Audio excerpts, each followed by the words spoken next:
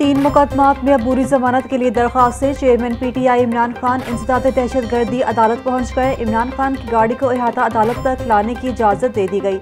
अदालत की इमरान खान की पेशी के वक्त सिक्योरिटी मुकम्मल करने की हिदायत।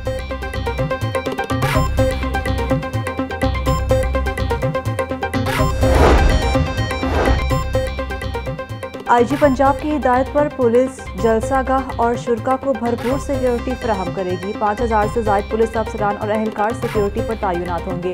किसी भी शख्स को बगैर चेकिंग जलसागाह में दाखिले की इजाज़त नहीं होगी।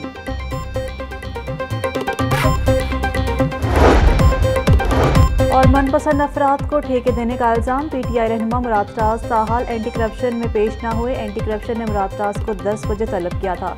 एंटी करप्शन हुकाम के मुताबिक मुराद पेश न हुए तो तलबी का दूसरा नोटिस जारी किया जाएगा।